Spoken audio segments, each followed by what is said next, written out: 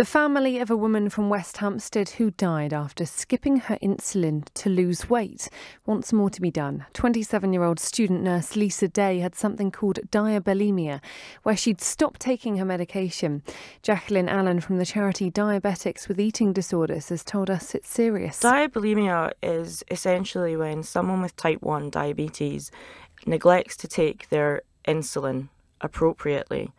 Um, and insulin is the hormone that ushers all of the energy around your body. So what happens in, in the absence of that is your body starts to cannibalize itself. Um, and that leads to weight loss. People with type 1 diabetes are sort of forced into thinking about things that you would normally associate with an eating disorder. So you get weighed all the time, you get told that you have to have an encyclopedic knowledge of what your uh, food intake looks like, you get told you must exercise. And uh, of course, all of these things are sort of signs that we would look for um, in the development of an eating disorder.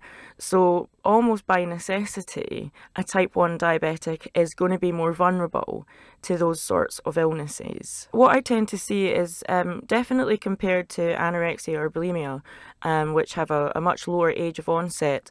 Uh, diabulimia tends to happen in slightly older adolescents, so maybe when they've left home uh, or they've moved to university. And oftentimes, you know, they've been told, oh, if you have a pizza or you, you drink a beer, something really bad will happen.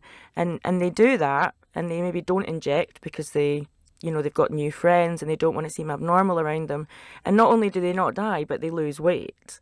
Um, and while, you know, initially that's okay, if it goes on any longer than that, then it be- can become an, a massive issue.